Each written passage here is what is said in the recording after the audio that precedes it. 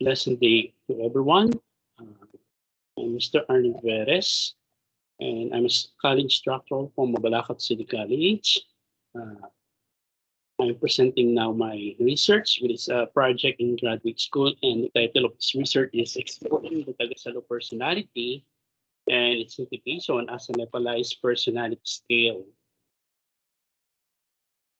So the purpose of this study is only to determine and identify the Tagasalo personality, explore the Tagasalo personality and the significant relationship of the variables such as the parent as a central and capacity for caring, listener with a mediator and harmonizer, taking care of family and taking care of others, being responsible and loving child or sibling, and sensitivity to the feelings of others and concern for others. So part of the purpose of the study is also to determine the differences between the responses of the male and female participant as well as their birth orders, no? And to scrutinize the explication of the Tagasalo personality as a localized personality scale. So the study sought to answer the following. No, um, how may the profile of the participant be described in terms of their age, gender, and ordinal position, birth order? And how may the response to the participant of the Tagasalo personality scale be described in terms of the absolute Tagasalo, or ganap to Tagasalo, the state Tagasalo, or the bahagyang Tagasalo, and the potential Tagasalo or may potential na maging Tagasalo, and somehow it's about the non-Tagasalo or hindi siya Tagasalo. For the research questions, part of uh, are there also significant differences or significant relationships, sorry, for the between the variables such as the parent as the central or nakatuon sa magulang with the capacity for caring or kakayahan sa pangangalaga and tagasalo as listener or tagapakinig with mediator, tagapamagitan and harmonizer, and taking care of the family, pangangalaga sa pamilya with taking care of others o pangangalaga sa iba. And the tagasalo as being responsible, mananagot with the loving, uh, as a loving child or sibling or mapagkalingang anak or kapatid. And the sensitivity to the feelings of others, may pakiramdam sa loobin ng iba or concern for others, uh, with the concern for others or may malasakit sa iba. And the fourth uh, research question, are there significant differences between the variables such as the male participant with the female participant, the eldest participant with the youngest participant, and the other birth orders? And what are the implications of the Tagasalo personality scale as a localized personality scale? So the methodology or uh, here, somehow the research method being used here, it's more of descriptive, correlational, and of course, as regard to something, the the participants are selected purposely, and somehow it convenience, no? Kasi kaya convenience kasi because this research was conducted during the pandemic, no? Mahirap maghanap ng respondent kaya kung sino na lang nandun, no? So among the participants being uh, uh, selected or something participate in the study, there are seven faculties, faculty members, there are six staff, no, and among the administrator, there are 11 posts, no, and three deans, no. And the data here are statistically analyzed using simple regression model sa relationship nila and the t-test of sample assuming an equal variable as regard to the differences between the male and female. No?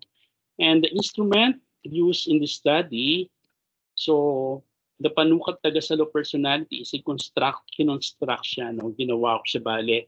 And I based the the items no based on the Tagasalo theory of Dr. Karandang and of course on the study of Tagasalo personality by Udarbe no in the in the instrument, there are two components. No? Yung first one, it's what we call yung nakatuon sa magulang, parent as central or parent-oriented. And the second one, it's yung kakayahan sa pangangalaga or capacity for caring.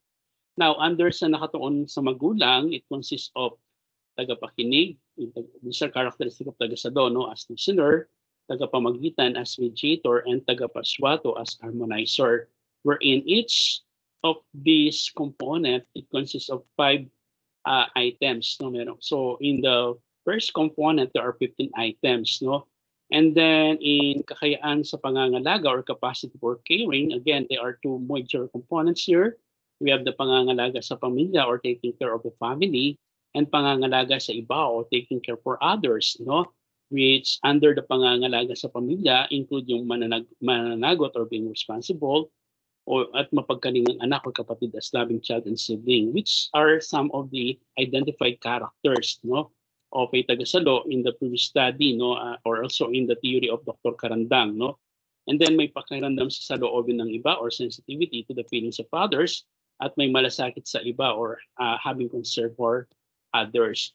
Now, with the constructed uh, scale or tagasalo to personality scale, I also come up with with what we call yung kanyang uh, transmutation table, no? Kasi uh, it's a Likert style, no? Likert yung ano niya. So from the highest uh, score na 4, that is strongly agree, and then agree, and then uh, disagree and strongly disagree. No? So the highest score is 3.5 to 4. Uh, of course, that is it means uh, ganap na tagasalo or absolute na tagasalo. and 3 to 3.49 above average means bahagyang tagasalo or slight tagasalo. And then 2.5 to 2.99, the average may potential na maging tagasalo or potential tagasalo. And uh, the score or the, yes, the score or the response consisting of uh, 2.49 to 1 uh, to 1 below average, low and very low average. So somehow I classify them as hindi tagasalo. Okay? So the result of the study shows that uh, major, most of the respondents no are some of they are slight tagasalo.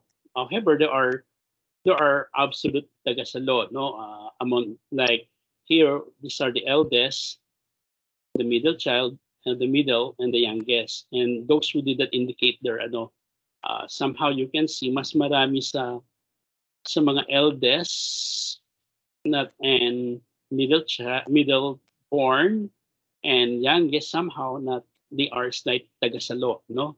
So that's why we can say that in this study, most of the respondents are slight tagasalo. And in table two, as regard to the tagasalo uh, for parent, parent as central and the capacity for caring, it somehow showed there is a significant relationship between this variable and the R statistically significant, no?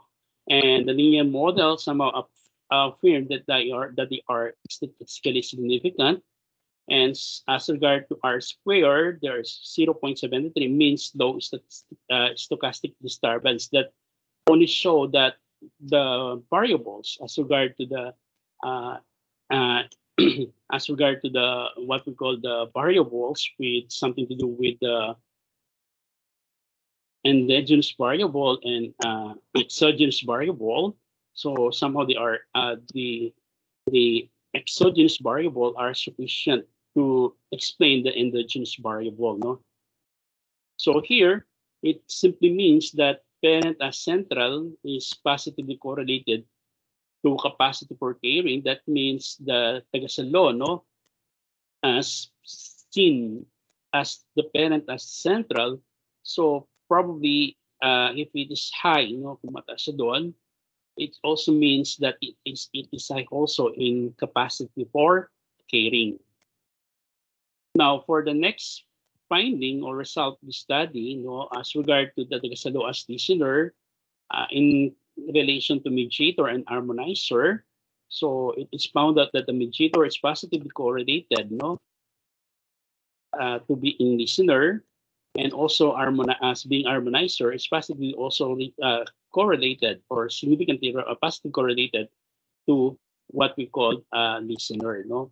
And the linear model are statistically significant and R square uh, somehow is 0.57 means there is a moderate stochastic disturbance. So that means there are other vari- uh, there are at least 43 percent of the uh, need bar some of the variables to uh, to explain no the relationship between the listener and the mediator and the harmonizer. But the finding likewise somehow define no that ha, that the sagasalo being a listener, no, if it's high uh, in being a listener, it is also high as being mediator and harmonizer, no?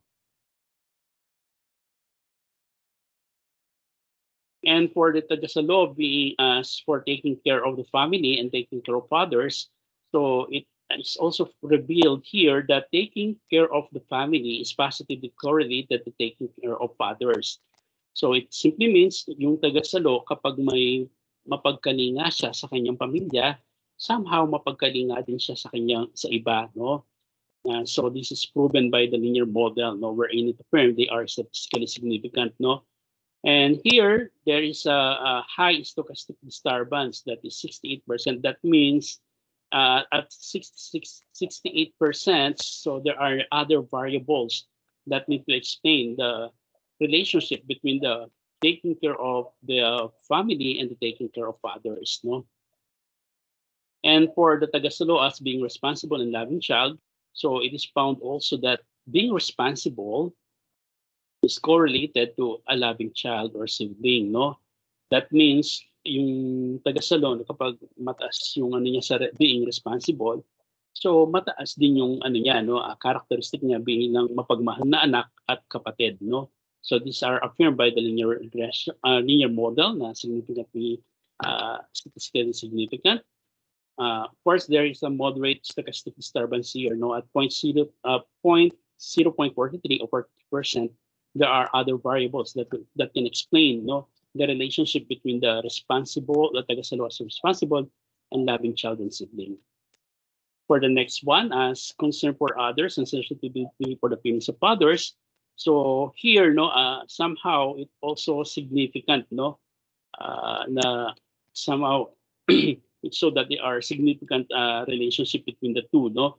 So that means so the tagasalo, no, being concern for others no uh, is also sensitive to the feelings of others no kung mataas yung kanyang pagiging concern for others mataas din yung kanyang sensitivity to the feelings of others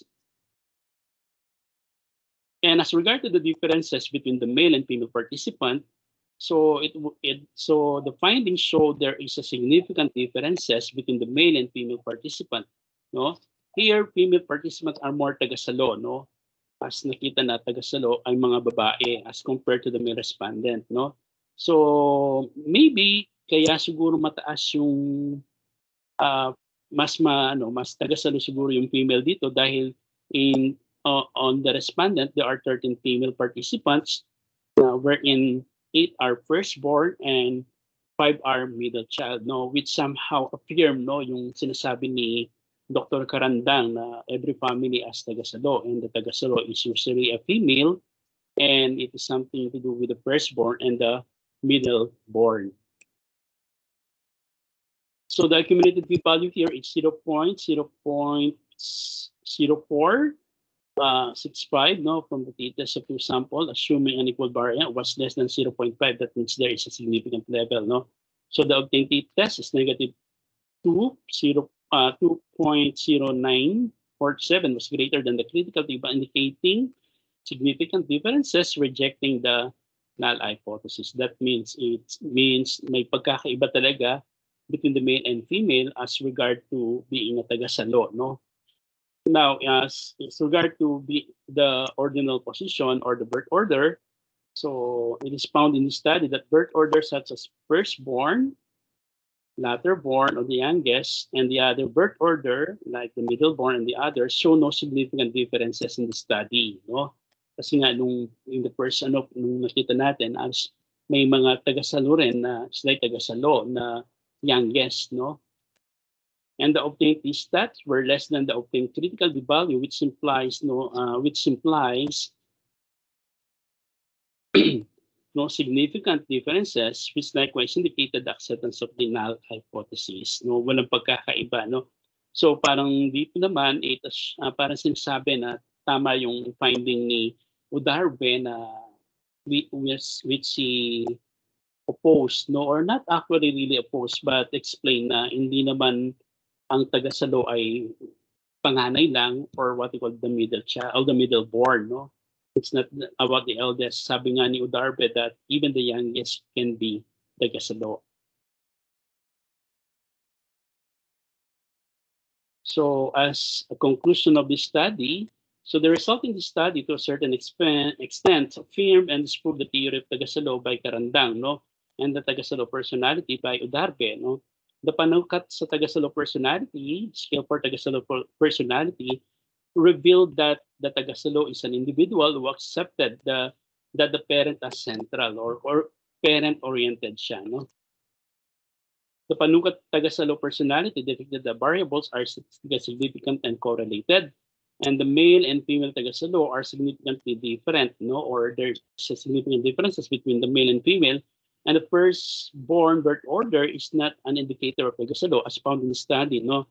But it has a strong probability to become tagasalo, parang totoo rin sinasabi ni Dr. Karandang doon, no? And the tagasalo in the study is described as being absolute tagasalo, slight tagasalo, and potential tagasalo. In this study, wala namang lumabas sa mga participant na hindi sila taga-salo but somehow uh, may absolute, slight, and potential. No, It means taga-salo sila regardless of what gender and what birth order they have. No? However, in the study also revealed that female participants are more slight taga-salo while the male participant are uh, were dominant as absolute taga-salo, no? which somehow kabaligtaran ng sinasabi ni Dr. Karandang na female, no? Yung tagasalo is a female, no? Eldest, no?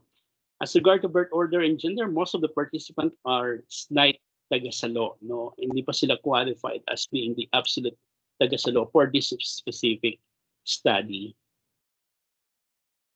So to end my presentation, I just quote, quote no, yung sinabi ni J.K. Rowling, what is life without a little wings? But somehow, what is life without research? Thank you. And this is and these are my references for this for this presentation.